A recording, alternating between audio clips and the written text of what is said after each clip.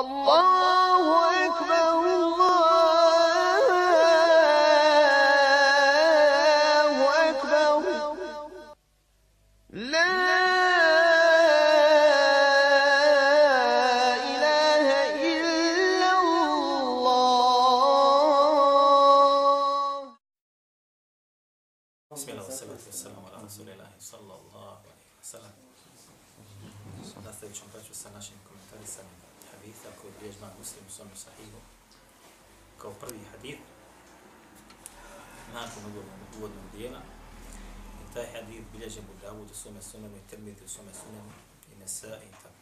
također sunenu i Ibn Mađe također.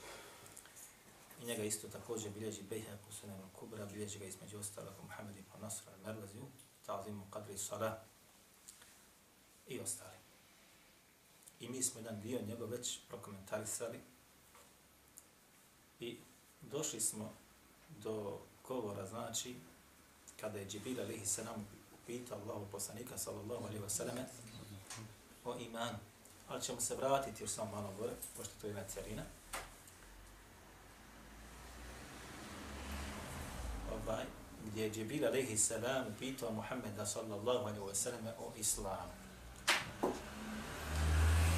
I rekli smo da je došao da ga ashabi nisu prepoznavali, tako? Nisu znali u kome se radi. Pa između ostaloga, nakon što smo upisali čitav uvod za taj hadith i povod njegovog zašto je izrečen od strane Ibn Abbasa, onaj po tome pitanju, između ostaloga smo rekli, Ibn Omera, pa smo između ostaloga rekli onaj, da je Džibril alihi salam rekao Allahom poslaniku sallallahu alaihi wa sallam, ja Muhammed ahbirni ali islam. O Muhammede, obavijesti me o islamu, pa smo rekli da Allah poslanik sallallahu alaihi wa sallam rekao, fa kale Rasulullah sallallahu alaihi wa sallam, الإسلام islam an أن لا la ilaha illallah, wa anna رسول Rasulullah, wa الصلاة وتؤتي wa وتصوم zakata wa البيت إن wa إليه al-bayta istata'ta ilayhi sabila. Pa smo rekli da Allah poslanik sallallahu alaihi wa sellem rekao islam je da svjedočiš i pojasnili smo šta znači ovo svjedočenje ako se sjećate u našem onaj predprošlom druženju. Šta znači ovo i kako je opisano kod učenjaka i tako dalje, da svjedočiš da nema drugog božanstva mimo Allaha subhanahu wa ta'ala, te da Muhammed sallallahu alaihi wa sallam jeste njegov poslanik, da obavljaš namaz, da daješ zekat, da postiš mjesec Ramazan i da obaviš hađ ukoliko si mogućnosti i ovo smo sve ukoliko se ne varam decidno pojasne. Faqala sadaqt, pa je rekao Džibril alejhi salam nakon što je čuo govor Allahu poslanika sallallahu alejhi ve sellem, kaže, a rekao si istinu. Pa je rekao Omer fa'ajibna lahu. Pa smo se kaže začudili njemu. Yes'alu wa yusaddiqu. Kaže, pita ga, a zatim potvrđuje njegov govor. Jer vi znate, insan kad pita nekoga da mu da ono što ga muči, da mu odgovor na pitanje, ne zna otprilike to pitanje. Ali ovdje je upitao, a zatim kaže, da, istinu si rekao. Zato su oni bili zbunjeni, začudjeni sa načinom ovim koji prvi puta vide. A poslije ćemo se inšal dotaknuti zbog čega je to na kraju samog hadida. Faqal akhbirni anil imani, pa je rekao, dobro, obavijesti me sada o imanu. Naučili smo sad šta je islam. Obavijesti me kada sada o imanu. Pa kaže Allah poslanik sallallahu sallam, an tu'mina billahi wa malaikatihi wa kutubihi wa rusulihi wa yawmil akhiri wa tu'mina bil qadari khayrihi wa sharrihi. Iman je kaže da vjeruješ šta? U Allah. Gore da svjedočiš da nema drugog božanstva, znači da vezam za ibadete, ovo je imanska stvar. Nema drugog božanstva mimo Allah, da vjeruješ u Allahu stvari. Da vjeruješ u Allah. Da vjeruješ u njegove šta? Meleke. Ovo su stvari koje smo učili što kažu u Mektebu. Njegove knjige koje je poslao poslanicima, da vjeruješ u njegove poslanike koje je poslao, odnosno knjige koje je spustio i objavio poslanicima, poslanike koje je poslao da vjeruješ u sudnji dan. A ovo malo ko vjeruje. Jer da insan vjeruje iskreno u sudnji dan, što kažu bio bi 24 sata na seđi. I da vjeruješ, kaže, u el qadar, u Allahu wa Đalešanu određenje, a rekli smo da je uzrok svega ovoga bila dvojica ljudi koji su došli iz Basri pa su pitali o stvarima koje su dogodili u Basri, ako se ne varamo, pojasnili smo to. I da kaže, vjeruješ u kader, a to je Allahu određenje, u onome što je određeno od dobra i onome što je određeno za tebe od, od zla. Sve moraš prihvatiti. I ne bi se na ovome zadržao, jer to smo onaj, već toliko puta čuli i to se već toliko puta čitalo i učilo oko kome. Faqad عن anil ihsani, pa mi je rekao, obavijesti me sada o ihsanu. Pa islam prvo ga pita o islamu, zatim ga pita o imanu, zatim ga pita o ihsanu. Riječ ihsan, kada bi se prevela bukvalno na bosanski jezik, promašilo bi se značenje koje se traži u ovome samome hadithu, shodno odgovoru. Allahu poslanika sallallahu alaihi wa sallam. Stoga ćemo shodno odgovoru ga protumačiti. Kaže, obavijestimo o ihsanu, šta je to ihsan? Pa kaže Allah poslani sa svakal, an ta'bud Allahe ka enneke tarah, fa in lam takun tarahu, fa innehu yarak. Kaže da Allaha obožavaš i badet mu činiš kao da ga gledaš. Fa in lam takun tarahu fa innahu yarak. A ako ga ne vidiš, znaj dobro da on tebe vidi. Odnosno, kaže Allah poslanik sallallahu alejhi moraš onaj da izvršavaš ibadete koje ti Allah propisao kao da gledaš svoga gospodara ispred sebe. A jesmo li takvi? Sigurno nismo. Ili većina nas nije. Kada klanjaš da si u tome stanju takav, kada postiš da si takav, kada daješ zekad da si takav, kada si u hajskim obredima si takav, kada hodaš putem da si takav. Jesmo li takvi? Kao da gledaš svoga gospodara.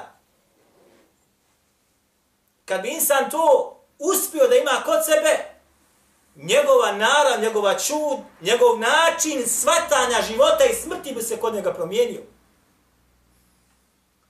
Međutim, kada nismo, kad smo malo marni, onda jesmo ovakvi kakvi jesmo i što se već događa sa nama. Kada bi insan u ibadetu bio u takvom stanju kao da gleda ispred sebe svoga gospodara, Allahova knjiga bi mu ne bi izlazila iz ruku nikad. Nikad. Međutim, pošto nismo, ona je rijetko u našim rukama. Jer ako ti ne vidiš njega, znaj dobro da on tebe vidi. Odnosno, ako si u ibadetu bilo koje vrste, znaj dobro da te tvoj gospodar vidi. Pa bio ti u namazu razmišljao o šumama i njivama ili novcu, ili bio iskren u onome činu, tvoj te gospodar šta? Dobro vidi. Da li davao svoj metak zato da se kaže za tebe da si dao?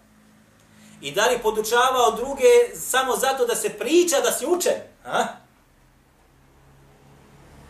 Ili da bi neku dunjalučku ili položajnu koristeku ne možeš od Allaha sakriti. Od mene možda možeš, mene prevariti ili ostale ljude ili braću. Ali gospodara koji zna tvoje stanje nikada.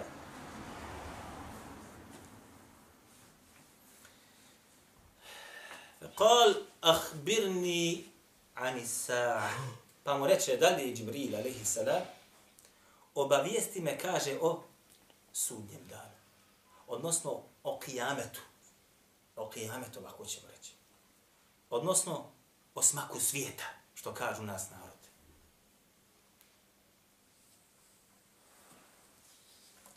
E, ovdje sad dolazi nešto što je malo prisutno kod nas. Kaže Allah poslanik sallallahu alaihi vseleme sada Džibrilu, bit će tadi, tadi, jel? Jel mu rekao? Ko zna šta mu je rekao? upitanima, Mel mes'ulu anha bi a'leme min sa'i. Kaže, onaj koji je upitan, ništa bolje ne zna od onog koji pita. Odnosno, ja ne znam kad će biti. A ne znaš niti kad će biti. Ovo kaže ko poslanik za Džibrilu, odnosno niko ne zna kada će sudnji dani doći. Dva najbolja roba, jedan od meleka, drugi od ljudi, dva najčasnija, dva koja su kod Allaha Đelešanu najodabranija, ne znaju za njegovo vrijeme kad će doći. A postoje ljudi koji, biva, koji znaju kad će biti sudnji dan. Napišu knjigu o tome. Subhanallah. Mel mes'ul mel mes'ulu anha bi a'lama min as-sa'il kaže onaj koji je upitan ništa bolje ne zna od onoga koji pita. Jes'alunaka 'ani as-sa'ati ayyana mursaha. Pitaju te kaže kad će sudnji dan? Kul innama ilmuha inda rabbi. Kaže na Allah dželle šanu reci stanje ili znanje o sudnjem danu je kod gospodara nebesa i zemlje u drugome kod Allaha dželle šanu. Kul innama ilmuha inda Allah. Reci kaže njegovo vrijeme kad će da bude jeste ili znanje o tome postoji samo ili je samo kod Allaha subhanahu wa ta'ala.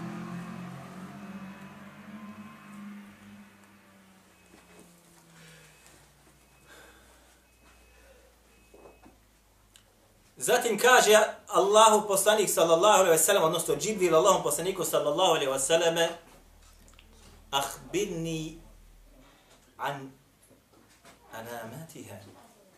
Obavijesti me kaže o alamat o predznacima sudnjega dana. Koji su predznaci? Ne znaš kad će sudnji dan da bude. Obavijesti, kaže me, o predznacima sudnjega dana.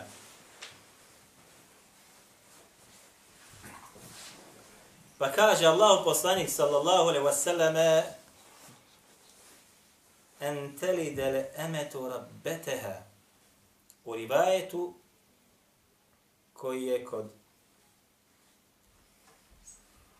لالكاية وشرح أصول السنة اعتقاد السنة شرح أصول اعتقاد أهل السنة والجماعة an talida al mar'atu rabbataha.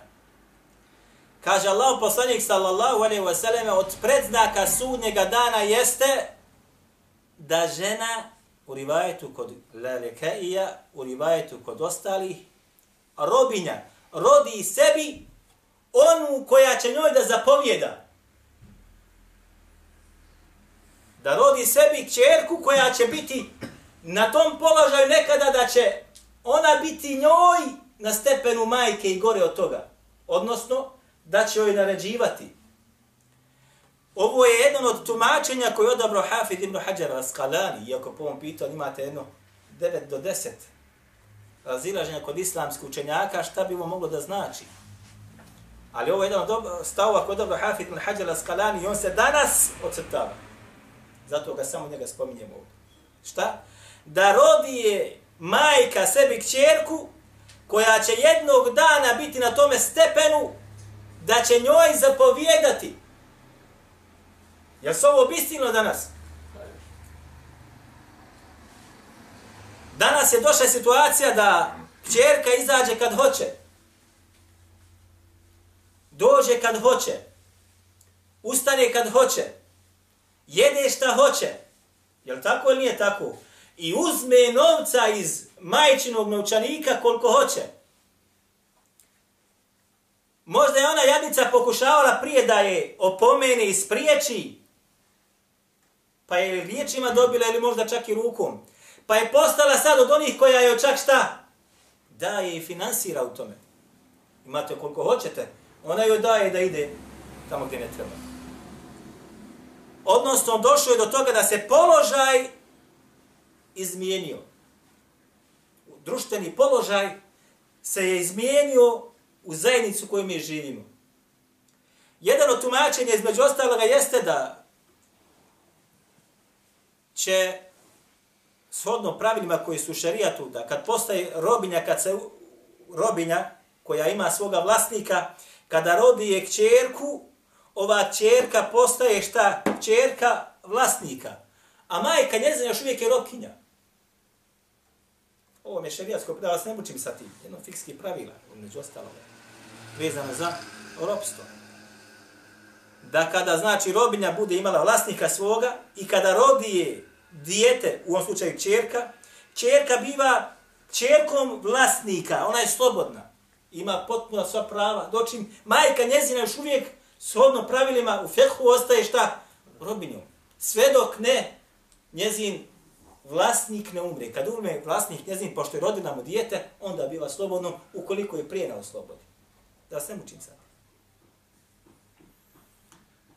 Ventera el hufate el hufate el urate el alete rija še'i, šaj je ta verune fi el bunijan. Fi bunijan. I da kaže, vidiš pastire gole i bose koji se nadmeću i takmiče ko će veću zgradu da napravi. Ko će veću konstrukciju i zgradu da napravi. Ovo, braćo moja draga, se je obistinilo otprilike prije nekoliko godina u arapskom svijetu. A i kod nas je počelo polako da u praksi pokazuje. O čemu se radi? Naime, vi koji ste bili na hađu, u zadnje, pogotovo u zadnje vrijeme, jeste li vidli kolike se zgrade u Mekki pravi? Hm? Ko je bio zadnji puta? Najnovije. Dižu se zgrade u velike visine. A poznato je da je arapski između ostaloga zaljevski narod, kakav narod? Narod koji je predat pustinji. Narod koji je živio uvijek od pustinji, u pustinji. Između ostalo kralj Fahad kad su mu prijetili da će da su sankcije naprave da, da, će mu, da, će ga, da će mu raditi ovo, da će mu raditi ono, kad je on zavrnuo naftu, on je rekao mi smo narod šta? Narod pustinje koji živi od datula i devina mlijeka. Ovo je nekad bilo. Kada je na vlasti bio onaj koji je kako treba. On je vraćao ubijen. Dan danas ko biva nije sodgonetno koga je ubio. Ko biva. Dotim danas Arapi nisu u stanju da jedu bez onoga burgera. Kako se zove onaj? Onaj hamburger i oni, oni, ej, McDonald's i ostalo. Nisu u stanju. Vi ćete naći da najveći stepen gojaznosti u svijetu čitavome se nalazi gdje? Sodno, sodno broj stanovnika. U zaljevskim zemljama. Zaljevskim zemljama. A nekad su živjeli od čega? Od hurmi i devina mlijeka. Prošlo je to vrijeme. Shodno ovome, braćo, ovaj se, jedan od stihova pripisuje imamu Šafije, rahimahullah. Ovo se zove, kaže, među ostalo, kaže on, inklabat, da će se stanje i vrijeme da mijenja, situacija će se promijeniti, ono što je bilo dole, bit će gore, ono što je dole, bit će, ono što je gore, bit će dole i tako dalje. Kaže mu Šafije, rahimahullah, temutul usdu fil gabati džu'a, وَلَحْمُ ضَعْنِ تَأْكُلُهُ الْكِلَابِ Kaže, umiru lavovi u šumama od gladi. a meso, što bi rekli, sitne stoke, psi jedu. Vazu džehli jenamu ala haririn, vazu ilmi mefarišuhu turabu. Kaže između ostaloga, a neznalica kaže spava u svili i kadifi, a onaj koji je učen, njegova postelja je prašina. Ovo je bukvalni prevod, ali ćemo morati malo da protumačimo. Nesvatljivo je li tako da lavovi umiru u šume? Šume su znači pune životinja. da od gladi umiru u šumama. To je nesvatljivo. Ali će doći vrijeme kad će lavovi zaista umirati. Odnosno, ovo se odnosi na situacije koje su prisutne kod ljudi, na situacije u društvu. Samo što on opisuje to na ovaj način. A kaže, psi jedu meso sitne stoke. To je posao koga? Lavova. Lav jede stoku, jede divlje životinje i tako dalje. Ali će doći vrijeme kad će oni od gladi da umiru.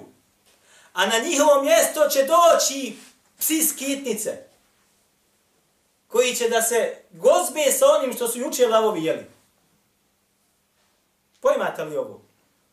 Međutim, kako kažu islamski učenjaci, lam makar umro, kaže umro je lam. A kad pašće crkne, kažu crklo je šta? Pašće. Pašće je pašće uvijek. A lav je uvijek lav, makar od gladi umro. Tako i da kaže sa društvom ljudima o njemu. Makar bio zatvoren, makar ne imao šta da jedeš, ali ti si lav, ako si kako treba. A na tvoje mjesto će doći oni koji nisu na tome stepenu. Oni su poput pasa koji samo zbog hrane su se tude okupili. A na kraju krajeva kada se preseli, preseli se shodno tvome stvarnome stanju i onome što u srcu i od dijela imaš. Pa kad se kaže umro je lav, znači umro je onaj koji bio kako treba. A crklo je pašće, džaba što si bio na položaju. I džaba što si lijepu hranu jeo. Tvoje stanje je tako. Zatim kaže dole dalje, neznalica spava, odnosno opisuje stanje, neznalica spava u svili i kadifi. A onaj koji je učen na prašini spava ili njegova postelja je prašina. Situacija je tada nekada bila takva, danas više takva situacija nije vraćena. Danas oni koji imaju znanje u arapskom svijetu, jedni, imaju dvorce, braćo. Dvorce koje bi se postidio najbogatiji bosanac da ima. Ja to svojim očima gledao. Kada sam bio u Jordanu, između ostalog, jedan od šehova mi stalno govorio da posjetim jednog muhaditha. I stalno mi govorio da idem sa njim. I ja sam, hvala Allahu, stalno odbijao. Zašto? Zato što ima sagrađen dvorac. Dvorac ima sagrađen. A juče je bio ništa. I situacija je takva i kod nas ovdje danas. Isto to se vam preslikava kod nas, da onaj koji ima znanje više nije, što se kao, kao kaže mamo šafi da umire na postelju od praha ili da je njegova postelja od praha i zemlje naproti, danas je to drugačija vremena. Zatim kaže na kraju Omer radijallahu anhu, jer on ovaj hadith prenosi, Suman talaqa, kaže zatim je otišao, famekethtu melija, kaže Omer, u rivajetu Budadu, femekethe melija. Pa sam, kaže, ostao melije, znači, dugo vrijeme je prošlo dan, dva, tri, u rivajetima da je prošlo tri dana, odnosno tri noći. Fekale Rasulullahi sallallahu alaihi wasallam, pa je rekao Allah poslani sallallahu alaihi wasallam, ja Omer, etedri men sa'il. Pa je rekao Omer, da li znaš ko je onaj čovjek bio što je pitao na pitanja? Kaže Omer, Allahu wa Rasuluhu a'lam. Allah i njegov poslani, kaže to, najbolje znaju. Fa innahu Jibrilu etakum yu'allimukum dinakum to je kaže bio Džibril, alejhi salam, došao je da vas poduči vjeri E. Kaže ovdje, došao je da vas poduči čemu? Vjeri. Čitava, što bi rekli mi, ili osnova ove vjere sadržana je na ova gore tri temelja koje smo spomenuli. Islam, iman i ihsan. A zatim je dole spomenuto šta? Znakovi sudnjega dana, odnosno da budeš u stanju da kad, budeš, kad budu došli da i prepoznaš da se to vrijeme šta? približilo da pripremiš sebe, da pripremiš svoju porodicu na vrijeme koje je samo što nije nastalo. A šta je to? Smak svijeta. Odnosno, ako čak ne budeš dočekao duge godine svoga života, blizu je smak svijeta, pretećete možda u tome, nespremno ćeš to da dočekaš. Mi smo završili sa ovim hadithom. Ovaj hadith je između ostaloga drugi hadith kojeg bilježi imamo nevevi u svojih 40 haditha. Pa ćemo, inša Allahu ta'ala, u našem sljedećem druženju krenuti sa trećim hadisom koji je kod imama nevevi u svojim djelu, njegovom djelu Arbaun ili 40 haditha, a taj jedan haditha bunje islamu ala hams. Islam je sagrađen na pet stvari. Na kolu kavli hada wa astagfirullahi li wa lakum.